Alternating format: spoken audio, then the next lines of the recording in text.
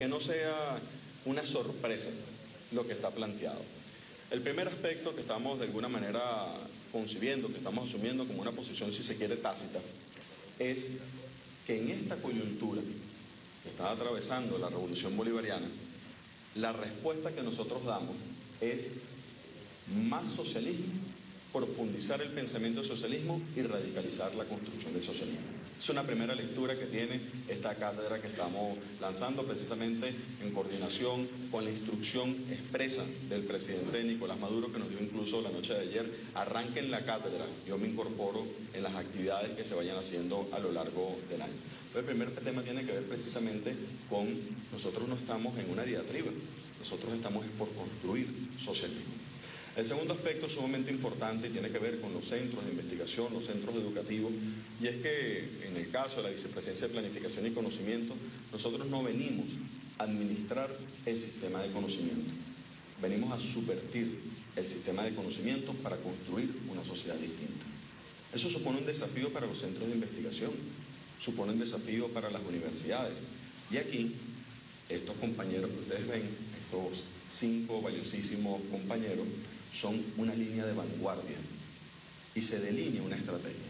¿Cuál es la estrategia? Son los cinco compañeros que van a estar solos en unas cátedras, en unos foros eh, durante un año haciendo un aporte muy importante que va a terminar en unos libros. ¿O tiene una estrategia interna eso que está ahí planteado? Primero, claro que va a haber espacios de debate, pero fíjense que parte de la estrategia es que cada uno de los compañeros va a tener un equipo de investigadores asociados a cada una de las líneas de investigación.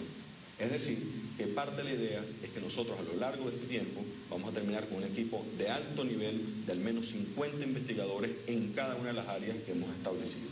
Eso de alguna forma delinea la estrategia que estamos buscando de multiplicación desde el punto de vista del pensamiento y de articular aún más nuevas formas de pensamiento. ¿Por qué están los institutos de investigación? ¿Por qué están las universidades acá?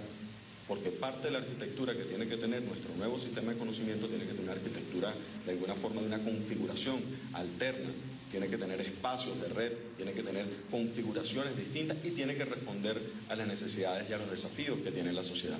Cada uno de nuestros institutos de investigación, mirándose a sí mismo, mirándose al ombligo, no cumple ninguna función desde el punto de vista de los desafíos que tiene la sociedad el día de hoy. Y eso es parte de la visión que tenemos que tener y que tenemos que. Y por supuesto, diríamos que el otro componente tiene que ver con el sistema de publicaciones y el sistema de difusión, que es la otra vértebra que tiene lo que hemos venido planteando. Ahora bien, las líneas centrales, identidad, imperialismo, economía, geohistoria. Lo decía Luis Brita Oro, pero lo decía Iraida, Mario, Mendoza Potelar, lo decía Vladimir Acosta. Estos temas son indispensables para la construcción del socialismo.